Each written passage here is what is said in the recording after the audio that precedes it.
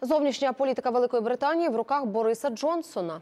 Е, Новий прем'єр Тереза Мей призначила колишнього мера Лондона міністром закордонних справ.